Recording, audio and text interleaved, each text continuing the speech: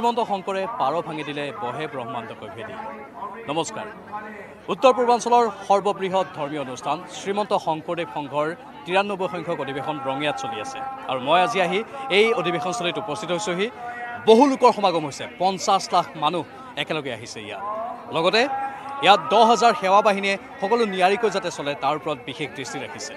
আমি নাম ধৰ্ম শুনিম আমি ভগৱানৰ নাম কীৰ্তন শুনিম নামঘৰ দেখুৱাম আৰু বহু কিবা কিবি দেখুৱাম। কিন্তু প্ৰথমেই আমাৰ অনুষ্ঠানৰ আৰম্ভণিতেই সেৱা বাহিনীৰ মই একাংশ যুৱক যুৱতীক দেখা পাইছোঁ। তেওঁলোকৰ সৈতে অলপ কথা পাতিম। প্ৰথমে অলপ নাম শুনি লওঁ আহক তেওঁলোকৰ কণ্ঠত।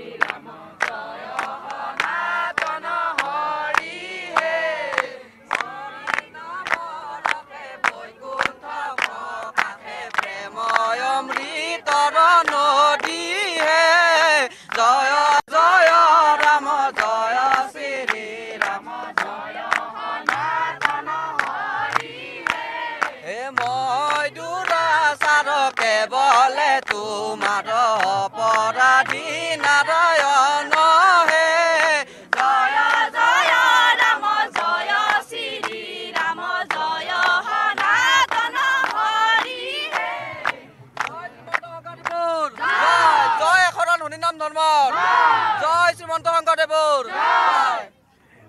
হৈছে শংকৰদেৱৰ আদৰ্শ আৰু এনেধৰণে হৰিনামৰ ধ্বনি গুঞ্চৰিত হৈছে এই শংকৰদেৱ সংঘৰ অধিৱেশনস্থলীত সেৱা বাহিনীৰ এইসকল কৰ্মকৰ্তা বৰ ভালদৰে পালন কৰি আছে দায়িত্ব। কেনেকুৱা লাগিছে ইয়াত? ইমান ভক্ত আহিছে। আহ, ইয়াত আহি বহুত ভাল লাগছে বহুত অনুভৱ। আমি বহুত দিন কষ্ট কৰি আছোঁ ইয়াতে। তো আমাৰ বহুত অনুভৱটো আৰু বহুত ভাল ইয়াৰ পৰা যাব ইচ্ছা নাই। গতিকে ইমান ভকতসমূহ লগ পাইছোঁ। সকলোৱে ইমান ধুনীয়াকৈ গোটেই পৰিৱেশটো সজাই তুলিছে। তাৰ বাবে সকলোকে আমি ধন্যবাদ জ্ঞাপন কৰিছোঁ আপোনাৰ চেনেলৰ জৰিয়তে। এইখিনিয়ে। গোটেই অসমৰ মানুহ আহিছে। ভাল লাগিছেনে? ভাল লাগিছে ভাল লাগিছে বহুত ভাল লাগিছে। এনেকুৱা ভকতক সেৱা কৰিব পাই বহুত সুখী হৈছোঁ। অত্যন্ত সুখী হৈছোঁ কৃষ্ণৰ কৃষ্ণ ভকতক সেৱা কৰিব পাই অত্যন্ত সুখী হৈছে। আৰু সেইটোৱে মূল কথা নহয়নে? ভকতক সেৱা কৰাটোৱে মূল ধৰ্ম শংকৰদেৱ সংঘৰ। কেনেকুৱা লাগিছে ইয়াত? ভালে লাগিছে। ভাল লাগিছে ন? ঠিক আছে। এইসকল হ'ল সেৱা বাহিনীৰ কৰ্মকৰ্তা আৰু দহ হাজাৰ সেৱা বাহিনীৰ কৰ্মকৰ্তা একেলগে কাম কৰি আছে আৰু শংকৰদেৱ সংঘৰ অধিৱেশন বুলি ক'লেই এক অনন্য পৰিৱেশে বিৰাজ কৰে। আজিও সেইটোৱে হৈছে ৰঙিয়াত আমি এইবাৰ নামঘৰৰ কাষলৈ যাওঁ আহক নামঘৰৰ পৰিৱেশ আপোনালোকক দেখুৱাওঁ। আহক আমি ভিতৰলৈ অলপ প্ৰৱেশ কৰোঁ। এইসকল হৈছে ভকত বৈষ্ণৱ আই বাপ। তেওঁলোকে অসমৰ বিভিন্ন প্ৰান্তৰ পৰা আহিছে। আটাইকেইখন জিলাৰ ভক্তসকলৰ ইয়াত সমাগম হৈছে আৰু প্ৰতিটো সময়তে তেওঁলোকে নাম লৈ আছে ভগৱানৰ নাম লৈ আছে কৃষ্ণৰ নাম লৈ আছে।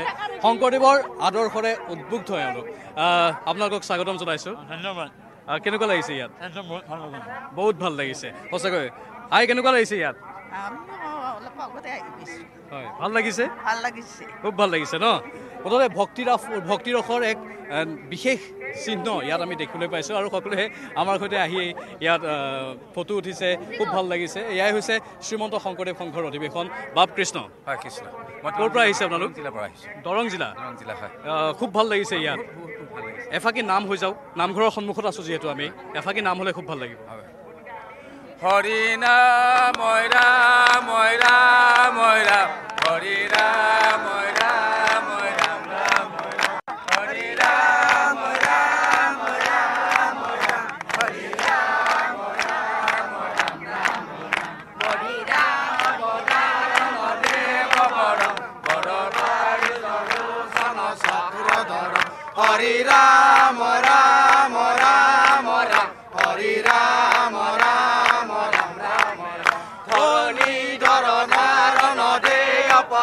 পৰমাৰ্থ বিদ্যা নাচ কৰং হৰি ৰাম ৰাম ৰাম ৰাম হৰি ৰাম ৰাম ৰাম ৰাম ৰাম কৰ চৌৰি নিত্য চে দীপ ভূৰি ভগং ভগভূষণ কৰ্ষিত পাদ যুগং হৰি ৰাম ৰাম ৰাম ৰাম হৰি ৰাম ৰাম नायक नागर बेस रुसिङ रुसिराङ सुपिधा नसोरी रघुसिङ हरि राम राम राम राम हरि राम राम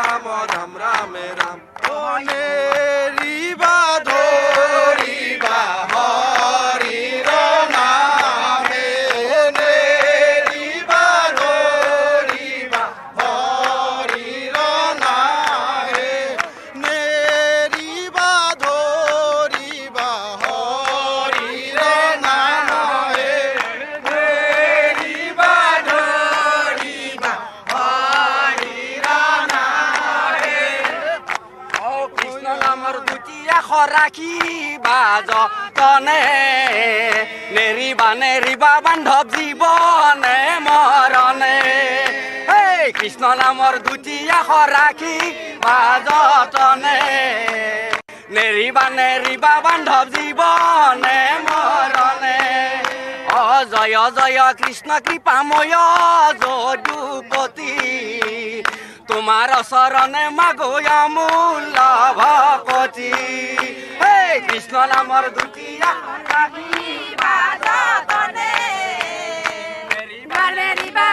জীৱনে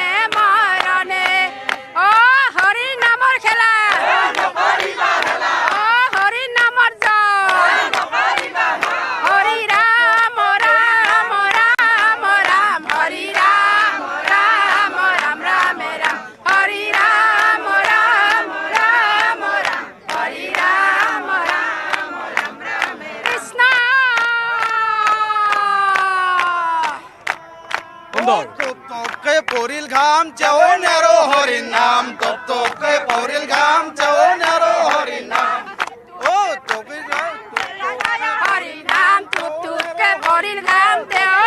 হরি নাম। হে কৃষ্ণ কৃষ্ণ পাবে পখিল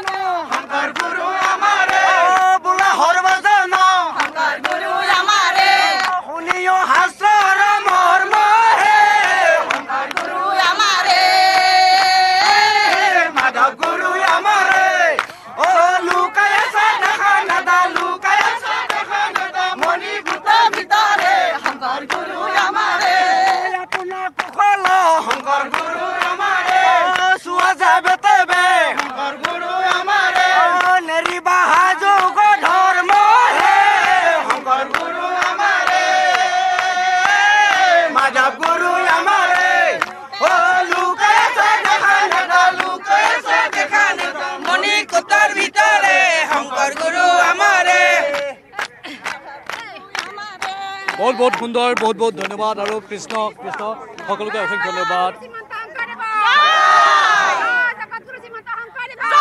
হয়।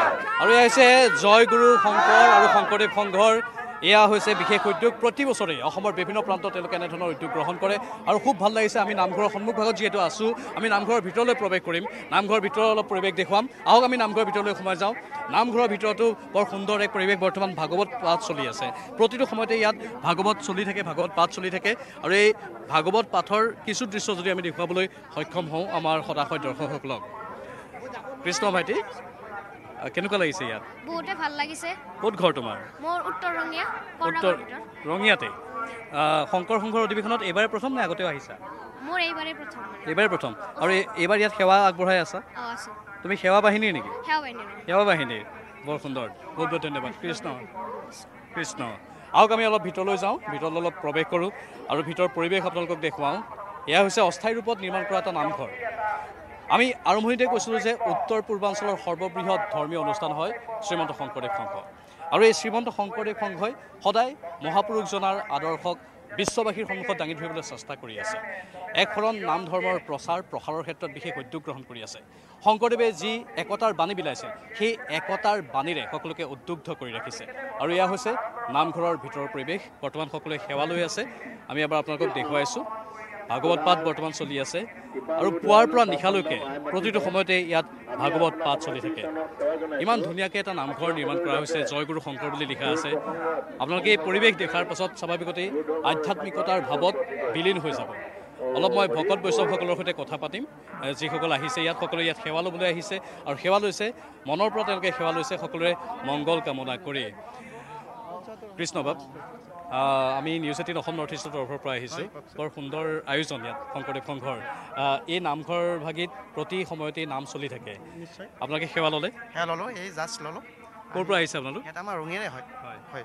আপোনালোকে ইয়াত ৰঙিয়াৰ যিহেতু উদ্যোক্তা আপোনালোক। ৰঙিয়াবাসীৰ তৰফৰ পৰা বিশেষ উদ্যোগ গ্ৰহণ কৰিছে।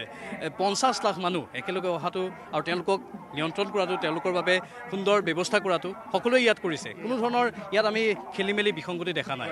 আচলতে ইমান নিয়াৰিকৈ কেনেধৰণে কৰিবলৈ সক্ষম হৈছে? ইয়াত ক'ব গ'লে অকল ৰঙিয়াবাসী ৰাইজৰে হাত নাই গোটেই অসমৰ যিমানবোৰ কৰ্মকৰ্তা আছে আমাৰ শংকৰদেৱ শংকৰ সকলোৱে আহি একেলগে মিলি মিলি জুলি একেলগে এইবোৰ এক- একেলগে কাম কৰিছে। সেইকাৰণে সম্ভৱ হৈছে। আৰু শংকৰদেৱে যিটো বাণী বিলাইছিল সেইটোৱে মূল কথা। আমি সকলো একতাৰে থাকিব লাগে একতা এনাৰ্জৰীডাল সবল কৰিব লাগে। সকলো জিলাৰ মানুহ আহিছে আৰু সকলোৰে মনত ভক্তিভাৱ। নিশ্চয় ভৰ্তিভাৱ থকাৰ কাৰণে এই অঞ্চলত এই অঞ্চলত জেগাটো ধুনীয়া লগা আছে ৰাইজ বহুত আহিছে সেইকাৰণে ভাল লাগিছে। হয় ধন্যবাদ আপোনালোকক। আৰু আমিও অলপ সেৱা লৈ লওঁ আহক। আহ, কৃষ্ণ নামঘৰত আমি প্ৰৱেশ কৰিছোঁ আৰু আমি নামঘৰত প্ৰৱেশ কৰি ইয়াৰ পৰাই সেৱা লৈছোঁ। ভগৱানৰ ওচৰত মণিকূট আছে তাত। মণিকূট এনেধৰণেই তেওঁলোকে ইয়াত নিৰ্মাণ কৰিছে। আৰু সকলোৰে মাজত বিশেষ পৰিৱেশ আমি দেখিবলৈ পাইছোঁ বৰ সুন্দৰ পৰিৱেশ আমি সেৱা লৈ লৈছোঁ।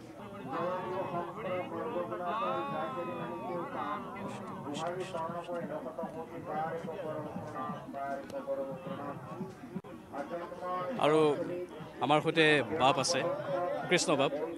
Hello' news eighteen news eighteen হয়। আমি আহিছোঁ আপোনালোকে ইমান সুন্দৰভাৱে ইয়াত ব্যৱস্থা কৰিছে। আৰু শংকৰ সংঘৰ অধিৱেশন বুলি ক'লেই এক অনন্য পৰিৱেশ। লাখ লাখ লোক একেলগে আহে। আৰু আপোনালোকে ইমান ধুনীয়াকৈ ইয়াত কামবোৰ কৰি আছে। এই নামঘৰ ভাগিত এই তিনিদিন প্ৰত্যেক দিনাই পুৱাৰ পৰা নিশালৈকে নাম চলি থাকে নহয় জানো? নাম চলি থাকে হয়। পুৰাৰ পৰা গধূলালৈকে নাম চলি থাকে। এতিয়াও বৰ্তমান নাম আৰম্ভ হ'ব শৰাই অৰ্পণ হ'ব প্ৰভুৰ চৰণত আৰু ভকত বৈষ্ণৱসকল আহি ইয়াতে সকলোৱে নাম গাই আনন্দতে নাচে হাঁহে গীত গায় সকলো পৰিৱেশ আপোনাৰ খবৰ কৃপাতে নিউজ এইটিনৰ সকলো সভাপতি সম্পাদক প্ৰমুখ্যে সদস্যবৃন্দসকললৈ আমি আশিক ধন্যবাদ আৰু সেৱা আগবঢ়াই সেৱা নিবেদিছোঁ। কৃষ্ণ জয় গুৰু শংকৰ। এভাগী যদি আপুনি আমাৰ ভাগৱতৰ যদি অলপ কিবা অলপ কৈ দিয়ে আমাৰ দৰ্শকসকলৰ বাবে তেতিয়া আমি উপকৃত হ'ম ধন্য হ'ম। হে কৃষ্ণ বাসুদেৱ দৈৱকী নন্দন হৰি নমো নন্দ গোপৰ কুমাৰ কৃপাময় শ্ৰী গোবিন্দ তজুপদ অৰবিন্দ কৰোঁ মই লক্ষ্য নমস্কাৰ প্ৰভু কৰোঁ মই লক্ষ্য নমস্কাৰ। এই আগমন কৰা ভকত বৈষ্ণৱসকল দূৰ দূৰণিৰ পৰা অহা তেখেতসকলক আমি আমাৰ শ্ৰদ্ধা ভৰা নিবেদন আগবঢ়াই আমি আজি আপোনাৰ নিউজ এইটিনক আমি সাক্ষাৎকাৰ কৰি তেখেতসকলৰ চৰণ চিন্তা কৰি আমি প্ৰভু দৈৱকী নন্দন দেও নিজ কৰোণা গুণে সুপ্ৰসন্ন হৈ সেও সমস্ত মনৰ সদবিলাক সিদ্ধি কৰাব সেই প্ৰাৰ্থনা। অ হৰি অ ৰাম কৃষ্ণ। বহুত বহুত ধন্যবাদ কৃষ্ণ। আৰু ইয়াৰ নামঘৰৰ পৰিৱেশ আপোনালোকে দেখিলে বিভিন্ন প্ৰান্তৰ ভক্তসকল একেলগে আহিছে আৰু তেওঁলোকে ইয়াত আহি সেৱা গ্ৰহণ কৰিছে চাওক এইসকল ভকক ভকতক এইসকল ভকত বৈষ্ণৱ ক'ৰ ক'ৰ পৰা যে অহা নাই অসমৰ বিভিন্ন প্ৰান্তৰ পৰা তেওঁলোক দৌৰি আহিছে। কেৱল অসমৰ বুলি ক'লে ভুল কোৱা হ'ব। বাহিৰত থকা যিসকল অসমীয়া আছে আমাৰ যিসকল লোক আছে শংকৰ সংঘৰ যিসকল লোক আছে প্ৰত্যেকগৰাকী লোকে আহিছে আৰু প্ৰত্যেকগৰাকী লোকে আহি ইয়াত সেৱা গ্ৰহণ কৰিছে। এয়াই হৈছে শংকৰদেৱৰ ভক্তি। শংকৰদেৱৰ প্ৰতি থকা মানুহৰ মৰম ভালপোৱা শ্ৰদ্ধা আৰু শংকৰদেৱে যিখিনি আদৰ্শ বিলাই থৈ গৈছিল সেই আদৰ্শক বিশ্ববাসীৰ সন্মুখত লৈ যোৱাৰ প্ৰচেষ্টা। নহয় জানো বাপ?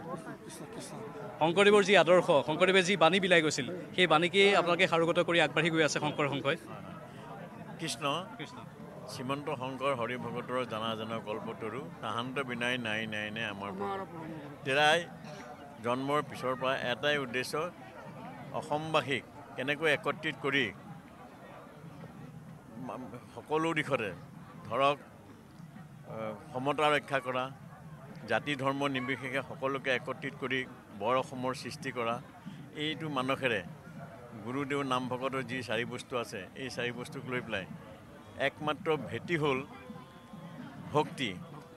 এক শৰণ নাম ধৰ্ম আৰু ভক্তিৰ ওপৰত নিৰ্ভৰ কৰি এই শ্ৰীমন্ত শংকৰদেৱ সংঘৰ প্ৰতিষ্ঠা হৈছে আৰু ইয়াৰ মুখ্য উদ্দেশ্য হৈছে বিশ্ববাসীৰ ওচৰত গুৰু ধৰ্ম প্ৰচাৰ প্ৰসাৰ কৰি প্ৰৱৰ্তন কৰি এক সমত সমগ্ৰবাসীক ওৱান ওৱান নৰলোক হৰি ভজয়োগ সমস্তবাসীক একত্ৰিত কৰি এক গুৰুদেৱ নাম ভকতৰ সেৱাত মনোনিৱেশ কৰি দিছে। বৰ সুন্দৰ কথা।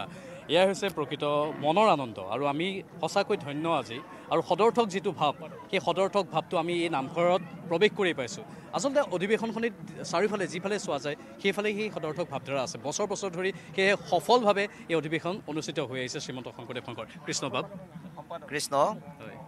জয় জয়তে আমি এনি নিউজ এইটিনৰ আমাৰ সাংবাদিক বন্ধুসকললৈ আমি শ্ৰীমন্ত শংকৰদেৱ সংঘৰ ৰঙিয়া জিলা শাখাৰ এই তৰফৰ পৰা বহুত বহুত আমি কৃতজ্ঞতা জ্ঞাপন কৰিছোঁ।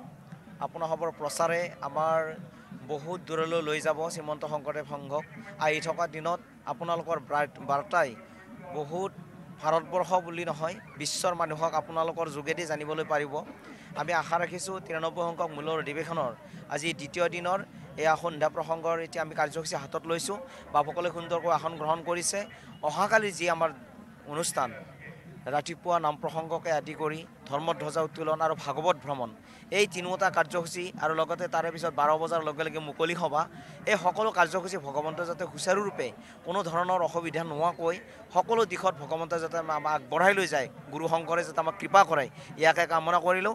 আৰু আপোনাৰ হ'ব আহিব বুলি আমি সেৱা জনাইছোঁ। সকলোকে আমি আমন্ত্ৰণ জনাইছোঁ। অনুষ্ঠান ভাগি আমাৰ ভগৱন্তই কৃপা কৰক। যাতে ভকতে ইয়াৰ পৰা মধুৰ বাৰ্তা লৈ নিজে গৃহমুখী হ'ব পাৰে তাৰে আমি কামনা কৰিছোঁ। নিশ্চয়। আপোনালোকে অনুষ্ঠান আৰম্ভ কৰক কৃষ্ণ আৰু অনুষ্ঠানৰ আমি অলপ কিয়দাংশ আমি অলপ ল'ব বিচাৰিছোঁ আমাৰ দৰ্শকৰ বাবে। অনুষ্ঠানটো আৰম্ভ কৰিলে আমি নথৈ আনন্দিত হ'ম। কৃষ্ণ কৃষ্ণ।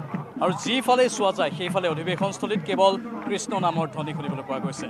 বৰ্তমান এইফালে নেগেৰা নাম চলি আছে আৰু সকলোৱে একেলগে নাম কীৰ্তন কৰি আছে। কোনেও ইয়াত নুশুৱে। ইয়াত আহিলে প্ৰতিগৰাকী লোকেই কেৱল কৃষ্ণ নাম লৈ থাকে। দাদা কৃষ্ণ। কৃষ্ণ। ক'ৰ পৰা আহিছে আপুনি? জয়গুৰু শংকৰ মই যোৰহাট জিলা শাখাৰ পৰা আহিছোঁ আৰু এজন আজি ভকত হিচাপে আহিছোঁ আৰু মই ইতিমধ্যে আমাৰ ঊনাশী চনৰ সাত এপ্ৰিলৰ পৰা আৰু আমাৰ দুহেজাৰ তেইছ চনৰ ডিচেম্বৰ মাহলৈকে যিখন আলফাৰ সংগ্ৰামত এখিনি শ্বহীদ হৈছিলে সেই শ্বহীদ পৰিয়ালৰ জাতীয় শ্বহীদ পৰিয়াল ঐক্য মঞ্চৰ মই কেন্দ্ৰীয় সভাপতি হৈ আছোঁ আৰু এই কেন্দ্ৰীয় সমিতিৰ সভাপতি হিচাপে আজি আমি এই অনুষ্ঠানটোত যাতে এই অনুষ্ঠানটোৰ যোগেদি এটা মেছেজ দিব বিচাৰিছোঁ যাতে অসমখনত শান্তি সম্প্ৰীতি আৰু একতাটো বৰ্তি থাকে। আৰু আমাৰ মহাপুৰুষজনাই যি আদৰ্শ প্ৰতিষ্ঠা কৰিছিল চাউলুং চুকাফাই যিটো সাত ৰাজ মিলাই এক ৰাজ প্ৰতিষ্ঠা কৰিছিল সেই একতাই আমাৰ বান্ধোনৰ শক্তিটো জাতি বৰ্ণ ধৰ্ম নিৰ্বিশেষে অটুট থাকিব লাগে। আৰু অতি আপোনালোকৰ এটা কথা নিবেদন জনাইছোঁ আমাৰ এটাই সন্তান আছিলে যোৱা যোৱা আমাৰ লকডাউনৰ সময়ত দুহেজাৰ বিছ চনৰ ঊনত্ৰিছ মে' তাৰিখে যোৰহাট জিলাৰ মোৰ ঘৰৰ কাষৰ এখন গাভৰু পৰ্বতৰ আঠাইছিল নামৰ প্ৰাকৃতিক দৃশ্য অনুভৱ কৰিবলৈ গৈ এ, গণপ্ৰহাৰৰ বুলি হৈ মৃত্যু হ'ব লগা হৈছিল। গতিকে তাতোতকৈ আৰু একো বিষয় নাই। গতিকে আমাৰ মাজত মানৱতাৰ প্ৰতিষ্ঠা হ'ব লাগে আৰু মোৰ দৰে যাতে কোনো পৰিয়ালে একমাত্ৰ পুত্ৰহাৰা হ'ব নালাগে তাৰ বাবে সকলোলৈ আহ্বান জনাইছোঁ আৰু মই আহ্বান জনাইছোঁ যে অসমত আমাৰ শান্তি প্ৰতিষ্ঠা হ'ব লাগে আৰু ভিতৰত যিসকল প্ৰতিনিধি পৰেশ বৰাপন্থী আমাৰ মাজত আছে আমি তেখেতসকলেও ভাবিছোঁ তেখেত এজন যথেষ্ট চিন্তাশীল ব্যক্তি।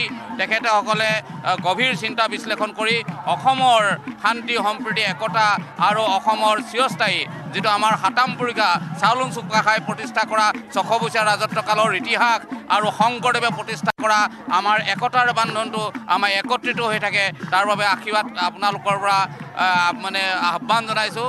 আৰু ইয়াকে কৈ আমাৰ বক্তব্য সামৰি মাৰিছোঁ। কৃষ্ণ জয় গুৰু শংকৰ শ্ৰীমন্ত শংকৰদেৱ সংঘৰ জয় হওক আৰু অসমৰ সমূহ জনগণৰ কল্যাণ হওক তাৰ বাবে আপোনাৰ হ'ব সকলোৰে চৰণত সেৱা নিবেদন কৰিছোঁ। আৰু শ্বহীদ পৰিয়ালসকলে যি লক্ষ্য উদ্দেশ্য আগত ৰাখি অকাল মৃত্যু সাৱটি লগাব লগা হ'ল তেখেতৰ সকলৰ প্ৰতিটোপাল তেজ যাতে অসমত নিগৰিত হৈছে কেঁচা তেজ। সেই তেজ টোপাল প্ৰতিটোপাল তেজ মানে আমাৰ অসম মাতৃৰ বাবে সৎ ব্যৱহাৰ হওক তাৰেই কামনাৰ্থে আপোনালোকৰ চৰণত সেৱা বহুত বহুত ধন্যবাদ আৰু শান্তিৰ বাৰ্তা। আজি এই অধিৱেশনস্থলীৰ পৰা দিছে বিভিন্নজনে। বহুত ভাল লাগিছে ইয়াত আৰু হৰিনামৰ ধ্বনি আমি শুনিয়ে আছোঁ।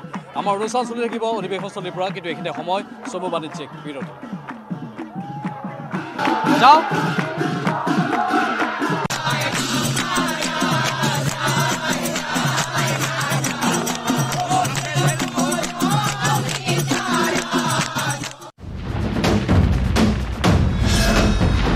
ভাৰতৰ গৌৰৱ গোটেই বিশ্বতেই।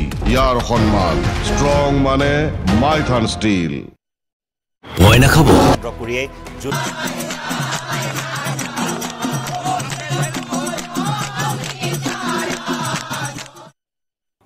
আৰু বৰ্তমান আমি ভোজনালয়ত আহি উপস্থিত হৈছোঁ সি অন্নৰ বাবে এইসকল লোকে দীঘলীয়া শাৰী পাতিছে। ভক্তিভাৱত তেওঁলোকে অন্ন ল'বলৈ আহিছে। আৰু কোৱা হয় যে শংকৰ সংঘৰ এই অন্নভাগি ল'লে মন প্ৰাণ শুদ্ধ হৈ পৰে। আৰু যাৰ বাবে তেওঁলোকে কেৱল মাত্ৰ ইয়াত ভোকত অহা নাই তেওঁলোকে ইয়াত ভগৱানৰ প্ৰসাদ ল'বলৈ আহিছে। নহয় জানো আপোনালোকে? আই? ভগৱানৰ প্ৰসাদ ল'বলৈ আহিছে সকলোৱে? কৃষ্ণ কৃষ্ণ হয় আৰু ভগৱানৰ প্ৰসাদ লোৱাৰ বাবে চাওক ইমান দীঘলীয়া শাৰী। আৰু মই নিজেও আগতে গ্ৰহণ কৰি পাইছোঁ। শংকৰদেৱ সংঘৰ এই ভোজনালয়ৰ যি অন্ন সেই অন্নৰ সোৱাদেই বেলেগ। পৰম তৃপ্তিৰে আমি গ্ৰহণ কৰোঁ আৰু মন প্ৰাণ শুদ্ধ হৈ যায় যেন অনুভৱ হয় আমাৰ। নহয়নে? আপোনালোকে কি কয়? মন প্ৰাণ শুদ্ধ হৈ যায় যেন অনুভৱ হয় হয় হয় কৃষ্ণ। ক'ৰ পৰা আহিছে কৃষ্ণ? আমি বাক্সা জিলা। বাক্সা জিলাৰ পৰা আহিছে। খুব ভাল লাগিছে। বিৰাট ভাল লাগিছে। আমি সংঘৰে হয়।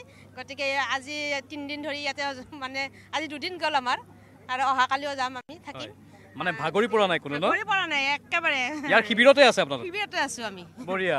শিবিৰতে আছে এওঁলোক আৰু মই যদি অলপ এনেকৈ এইফালেদি যাবলৈ চেষ্টা কৰোঁ চাওক কিমান দীঘলীয়া শাৰী কিমান দীঘল দীঘল শাৰী ইয়াত দেখিবলৈ পাইছোঁ। ইমান মানুহ চৌদিশে কেৱল মানুহৰ সকলো ভক্তপ্ৰাণ ৰাইজ।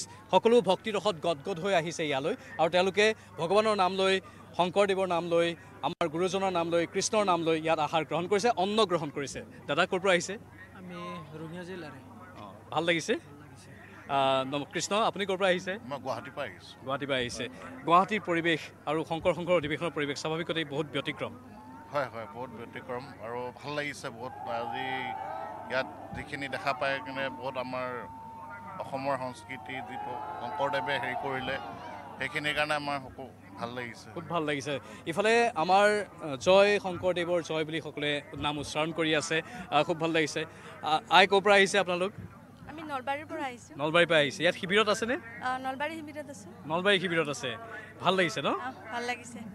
আহ, অলপো কষ্ট অনুভৱ কৰা নাই? নাই নাই নাই নাই এয়াই হৈছে ভগৱানৰ নামৰ মূল মন্ত্ৰ ন? আমি গোগামুখৰ পৰা আহিছোঁ। গোগামুখৰ পৰা আহিছে? আপোনাৰ আপুনি কিমান বছৰ আহিছে শংকৰ সংঘৰ অধিৱেশনত এতিয়ালৈকে? আহিয়ে আছোঁ আৰু ওচৰতো হ'লেও যাওঁ দূৰণিলৈও গৈয়ে থাকোঁ আজি। মানে য'তেই অধিৱেশন হয় ত'তেই যায়? গৈ থাকোঁ। প্ৰত্যেকবাৰে যায়? এইবাৰ ৰঙিয়াত কিমান ভাল লাগিছে? ভাল লাগিছে বহুত ভাল লাগিছে।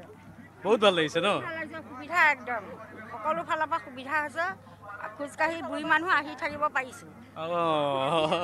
বুঢ়ী মানুহজন কিন্তু আপোনাক নালাগে মুখৰ হাঁহি কুৰাই বৰ ভাল লাগিছে বৰ সুন্দৰ পৰিৱেশ। এয়া চাওক এইটো দীঘলীয়া শাৰী। মই কৈ আছোঁ এই শাৰীটোৰ কথা।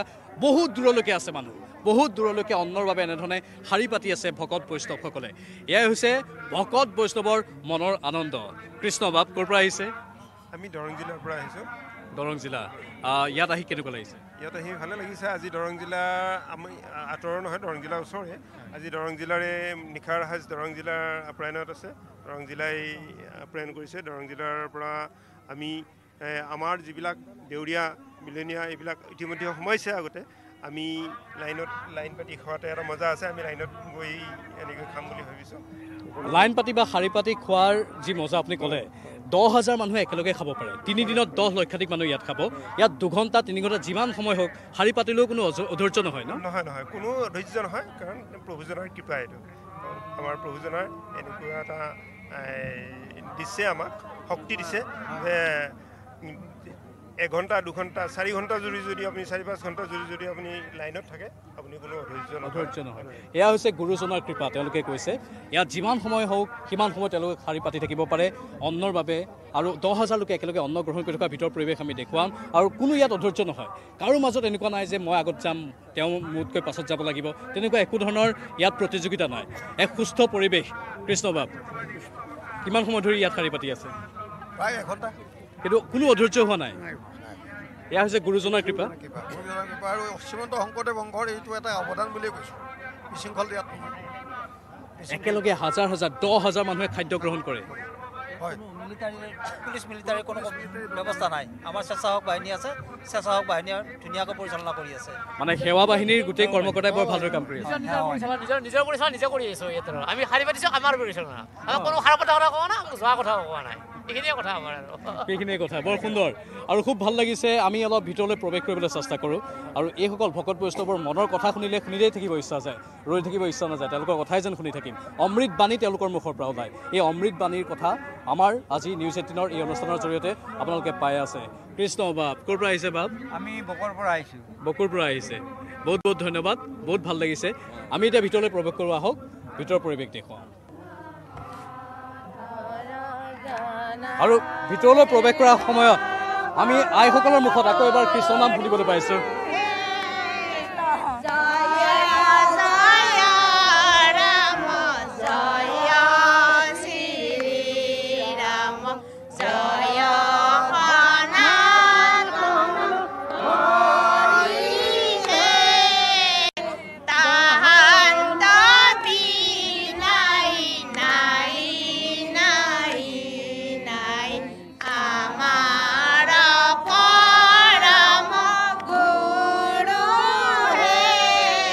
মানে ভোজনালয়ত শাৰী পাতি থকাৰ সময়তো, ভোজনালয়ৰ বাহিৰত শাৰী পাতি থকাৰ সময়তো তেওঁলোকৰ মুখৰ পৰা কিন্তু নাম ধৰ্ম এবাৰলৈও আঁতৰা নাই। তেওঁলোকে প্ৰতিটো সময়তেই কৃষ্ণৰ নাম লৈ আছে অমৃত বাণী বিলাই আছে। ইয়াতকৈ আৰু কি লাগে? বলক এইবাৰ আমি ভোজনালয়ৰ ভিতৰৰ পৰিৱেশটো আপোনালোকক দেখুৱাওঁ। আৰু সুবৃহৎ ভোজনালয়। শংকৰ শংকৰ অধিৱেশনৰ। এনেধৰণেই এই ভোজনালয় ব্যৱস্থা কৰা হৈছে। বাহিৰত আপোনালোকে দীঘলীয়া শাৰী দেখিছে। আৰু ইয়াত অগ্ৰাধিকাৰ হয় অগ্ৰাধিকাৰ দিয়া হয় বৃদ্ধ আৰু শিশুসকলক। যদি কোনোবা বৃদ্ধ আছে বা শিশু আছে তেওঁলোকক অগ্ৰাধিকাৰ দি ভিতৰলৈ অনা হয়। বৰ্তমান কোনেও আসন গ্ৰহণ কৰাহি নাই। অলপ কিছু সময় লাগিব হয়তো অন্ন সাজু হওঁতে। নহয় জানো বাপ? কৃষ্ণ জয়গুৰু শংকৰ। শ্ৰীমন্ত শংকৰদেৱ শংকৰ তিৰুনাম শংকৰ ৰঙিয়া জিলাৰ এই বাৰ্ষিক অধিৱেশন তিনিটা কাৰ্যসূচী আৰম্ভ কৰা হৈছিল। আজি দ্বিতীয় দিন। এই দ্বিতীয় দিনৰ নিশাৰ আহাৰৰ বাবে নলবাৰী জিলা আৰু দৰং জিলাক দায়িত্ব দিয়া হৈছে। সম্পূৰ্ণ নলবাৰীৰ দৰং জিলাই দায়িত্ব পালন কৰিব। ইতিমধ্যে ভোজনৰ কাম চলি আছে ৰন্ধনীৰ কাম প্ৰায় শেষ হ'ব অলপ পিছতে আমি দুৱাৰ খুলি দিম। ইয়াত প্ৰথমতে আমাৰ কি সংঘৰ যিটো ইয়াত লাইন পাতি আছে আপোনালোকে দেখিছে ইয়াত কোনো অধৈৰ্য নহয়। অধৈৰ্য নহয়। অধৈৰ্য নহয় নিয়ম শৃংখলাবদ্ধভাৱে ইয়াত আহ, আহিব একেলগে গ্ৰহণ কৰিব। আমি চবেই একেলগে লাগিম ভকত সেৱা কৰিবলৈ আহিছোঁ। আহ, আৰু নিস্বাৰ্থভাৱে সকলোৱে ভকত সেৱা কৰে। ইয়াত তামোলৰ গছৰ আপোনালোকে ব্যৱস্থা কৰি দিছে কাটি তামোল গছ কাটি তাত আসনৰ ব্যৱস্থা কৰি দিছে। সকলো নিয়াৰিকৈ চলি আছে ইয়াত। উচ্চ নিচ নাই কোনো স্বাৰ্থ নাই। এবাৰ যদি আপোনালোকে আমাক য'ত আহাৰ অন্ন সাজু কৰি আছে তালৈ যদি লৈ যায় খুব ভাল লাগিব। আমাৰ দহ হাজাৰ আমাৰ মানে ভকত বৈষ্ণৱ বহিব পাৰে। আৰু তিনিদিনত তেনেহ'লে কিমান লক্ষাধিক হ'বগৈ? তিনিদিনত আমাৰ এনে মোটামুটি ধৰক চল্লিছ লাখ আৰু। তিনিদিনত 40 লাখ? চল্লিছ লাখৰ টাৰ্গেট আৰু। আৰু আমাৰ আইসকলে আমাৰ চব্জি সম্পূৰ্ণভাৱে আমাৰ মানে কটা কৰি আছে বা আমাৰ ধোৱাই ধুই আছে।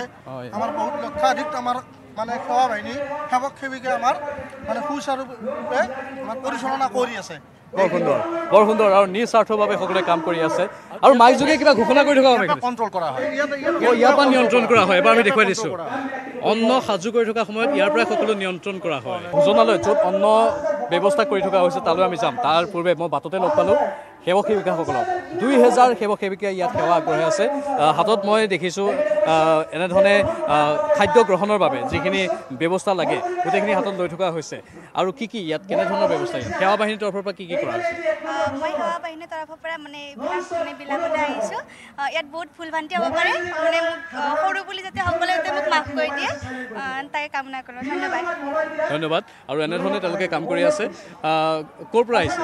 নলবাৰী। নলবাৰী। আজি নলবাৰী আৰু দৰং জিলাই যিহেতু ইয়াত খাদ্য আগবঢ়াইছে, সেয়েহে নলবাৰী আৰু দৰং জিলাৰ এইসকল সেৱক সেৱিকা তেওঁলোকে ইয়াত কাম কৰি আছে। আহক, আমি আগবাঢ়ি যাওঁ। আহক।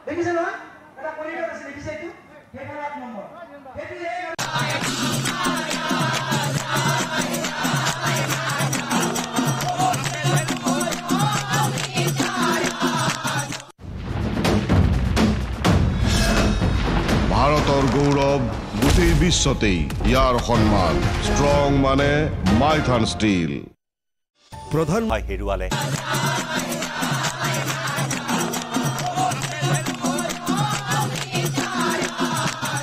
সাতশটা চৌকাত হাজাৰ হাজাৰ ভকত বৈষ্ণৱৰ বাবে খাদ্য ইয়াত অন্ন সাজু কৰি থকা হৈছে তৰকাৰী বনাই থকা হৈছে। কৃষ্ণবাব কি কি আয়োজন আজি নিশাৰ বাবে? আজি আমাৰ দালি আছে তৰকাৰী আছে আলু ভাজি বিলাহীৰ টক আৰু আলু আলু আলু চয়াবিন আছে আঞ্জা আলু চয়াবিন আৰু। আৰু আলু চয়াবিন খুব ভাল পায় মানুহে। ভকতসকলে আলু চয়াবিন খুব ভাল পায় নলবাৰীৰ আলু চয়াবিনৰ নামো আছে নামো আছে নামো আছে। আজি অন্যাত কৰি বিশেষ কৰি আজি আঞ্জা ভাত অলপ বেলেগ হ'ব লাগিব। আমি আৰু বিৰাট ফূৰ্তি মানে বনাই আছোঁ আজি। মানে আজি নলবাৰী আৰু দৰং জিলাই সকলোকে গোটেই অসমবাসীক এক অন্য সোৱাদ দিব খাদ্যৰ নহয়নে? হয় হয় নিশাৰ কাৰণত নিশাৰ কাৰণত আমাৰ একদম একবাৰত আমাৰ দহ হাজাৰ ভকত বৈষ্ণৱে আমাৰ বহি আহাৰটো গ্ৰহণ কৰিব পাৰিব অন্য গ্ৰহণ কৰিব পাৰিব আৰু সেইখিনি আমাৰ বৰ সুন্দৰ আমি দেখুৱাওঁ এবাৰ পৰিৱেশটো দেখুৱাইছোঁ এবাৰ আমি ডাঙৰ ডাঙৰ থালিবিলাক আছে এইটো দেখাই দিওঁ ডাঙৰ ডাঙৰ থালি আছে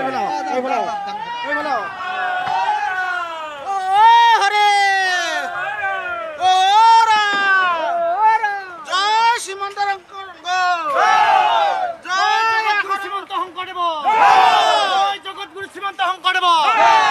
এখন হৰিনাম ধৰ্ম জয় নলবাৰী জিলাৰ জয় দৰং জিলা জয় ৰঙিয়া জিলা অ হৰি সুন্দৰ আৰু তেওঁলোকে অন্ন সাজু কৰি থকাৰ সময়তো একেই ভক্তিভাৱ। সকলোৰে মনত ভক্তিভাৱ আৰু এই ভক্তিভাৱেই তেওঁলোকক অনন্ত গতিত শক্তি দি আছে অহৰহ শক্তি দি আছে। আৰু হৰিনামৰ ধ্বনি আমি এনেধৰণে শুনাই থাকিম। আমি সাতশটা চৌকাৰ কথা কৈছোঁ ইয়াত। সাতশটা চৌকাত একেলগে অন্ন সাজু কৰি থকা হৈছে। আৰু এই অন্নবোৰ চাওক এয়া ঠেলাত ঠেলাত এয়া দাইল। ঠেলাত দাইল লৈ আছে আৰু এয়া ঠেলাত দাইলৰ ব্যৱস্থা কৰিছে। কৃষ্ণ বাব। এয়া ঠেলাত আপোনালোকে দাইলৰ ব্যৱস্থা কৰিছে। হয় হয় হয়। এই যিমান মানুহখিনি আহিব আমাৰ ভকত ভকত বৈষ্ণৱ সকলোকে ইয়াৰ পৰা খোৱা হ'ব।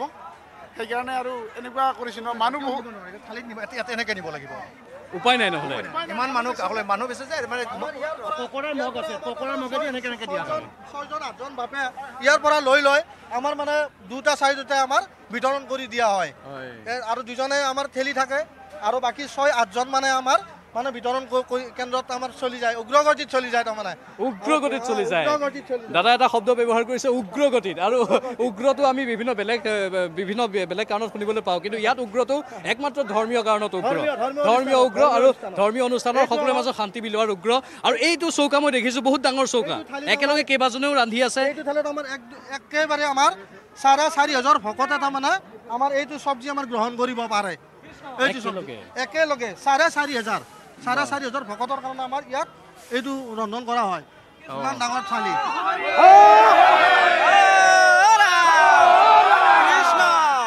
কৃষ্ণ বাব আপোনালোকে একেলগে চাৰে চাৰি হাজাৰ লোকৰ বাবে ইয়াত অন্ন সাজু কৰিছে তৰকাৰী বনাই আছে ইয়াত অলপো আপোনালোকৰ ভাগৰ লগা নাই কাম কৰি আমাৰ অকণমান ভাগৰ লগা নাই জয় শ্ৰীমন্ত শংকৰদেৱ সংঘ ৰাম জয় শ্ৰী ৰাম জয় সনাতন হৰি হে জয় জয় ৰাম জয় শ্ৰী ৰাম জয় সনাতন হৰি হে শ্ৰীমন্ত শংকৰ হৰি ভকতৰ জান যেন কল্পতৰু হে জয় জয় ৰাম জয় শ্ৰী ৰাম জয় সনাতন হৰি হে তাহান্ত বিনাই নাই নাই নাই আমাৰ পৰম গুৰু হে জয় জয় ৰাম জয় শ্ৰী ৰাম জয় সনাতন হৰি হে আৰু আপোনালোকে এখন হেতাৰ ব্যৱস্থা কৰিছে বিশেষ হেতা। কাঠেৰে নিৰ্মাণ কৰি লৈছে। এইখন এই হেতাখনৰ কিবা নাম আছে নেকি? ডাঙৰ হেতা বাঁহৰ হেতা ডাঙৰ হেতা। আৰু সকলোৱে তিনি চাৰিজনে একেলগে কাম কৰি থাকে? চাৰি পাঁচজন লাগি যায় ইয়াতে। লাগি যায় ইয়াত বঢ়িয়া।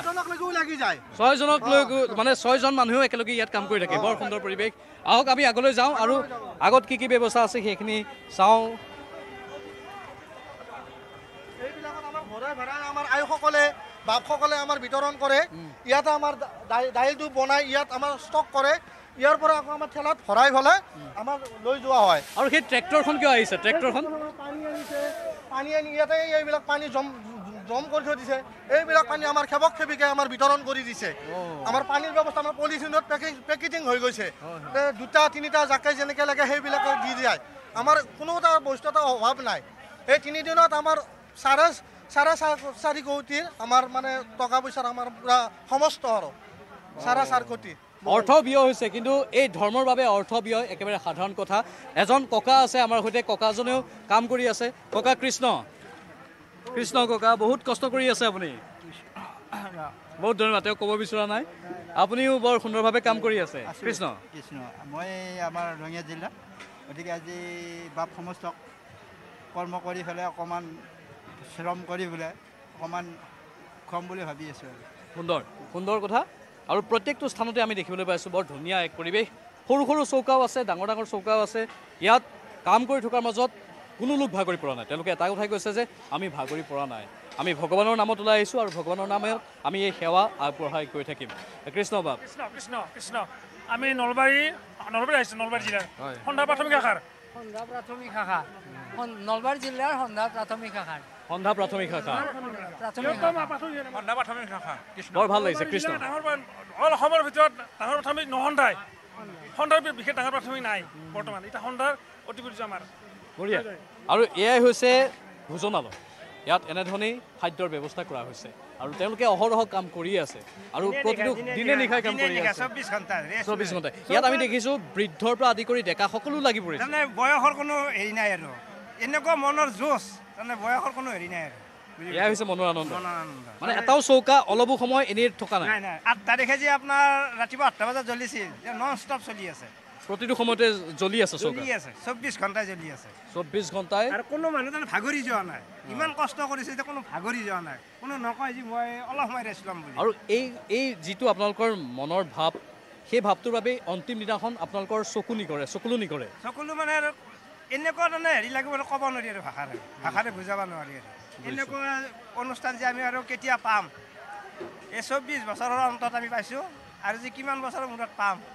তাৰমানে ক'ব নোৱাৰি আৰু। বহুত বহুত ধন্যবাদ আপোনাক। আমি লগ পাই থাকিম। আমি আগলৈ যাওঁ। আঞ্জাৰ আঞ্জাৰ আঞ্জা য'ত কুটি আছে মানে য'ত চব্জি কুটি আছে আমি তালৈ যাওঁ।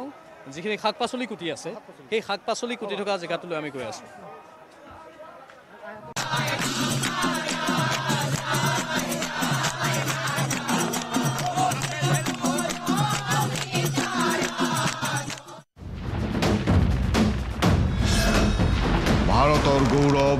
গোটেই বিশ্বতেই ইয়াৰ সন্মান ষ্ট্ৰং মানে মাইথান ষ্টীল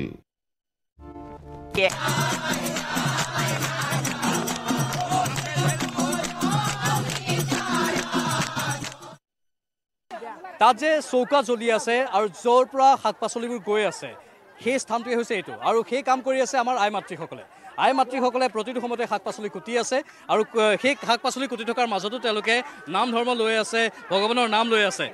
কৃষ্ণ আই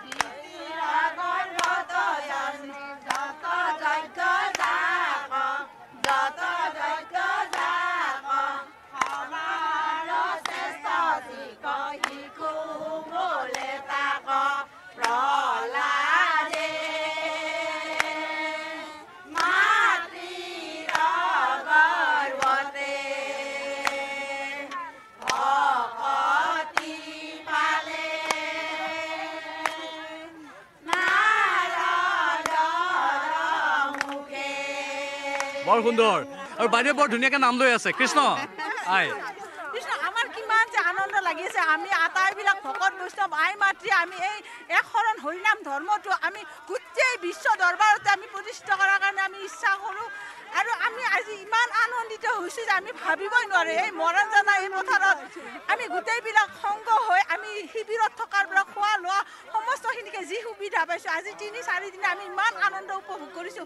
ভাবিব নোৱাৰোঁ আমাৰ ঘৰলৈ মনতে নপৰে এতিয়া গৈ আমি কান্দিবহে লাগিব। কৃষ্ণ কৃষ্ণ। আৰু আমি সেইটো দেখিবলৈ পাওঁ শংকৰ সংঘৰ অধিৱেশনৰ পাছত শেষৰ দিনা সকলোৱে অশ্ৰুসিক্ত নয়নেৰে বিদায় জনায়। আৰু আজি এইসকল আই বাপৰ এই মৰম এই স্নেহ এই কৰ্মস্পৃহা সেয়া সঁচাকৈয়ে অতুলনীয়। বৰ ভাল লাগিছে ইয়াত থাকি। আহক এতিয়া আমি আন এটা দিশলৈ আপোনালোকক লৈ যাওঁ।